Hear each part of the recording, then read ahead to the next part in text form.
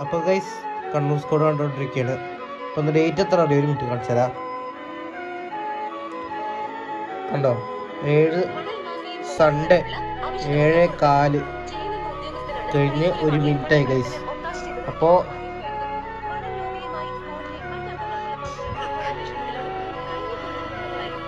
Guys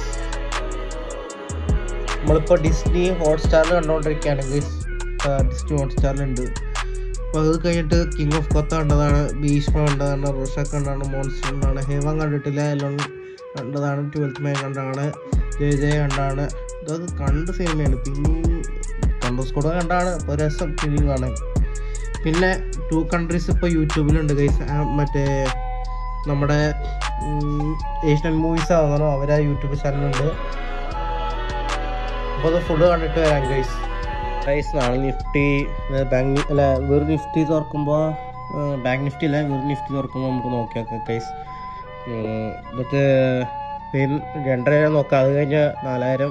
നമുക്ക് profit നിൽക്കുന്നുണ്ട് അത് കുറഞ്ഞാൽ നമുക്ക് അപ്പോൾ സെൽ ചെയ്ത് വിടാം. അപ്പോൾ നമ്മളിപ്പോൾ ഇരുപത്തെട്ടായിരം രൂപ ഇൻവെസ്റ്റ് ചെയ്തുകൊണ്ട് നാലായിരം രൂപ നമുക്ക് പ്രോഫിറ്റായി കിട്ടുന്നു. ഐഡിയ നമ്മൾ പതിമൂവായിരത്തി തൊണ്ണൂറ്റഞ്ഞൂറ് രൂപ.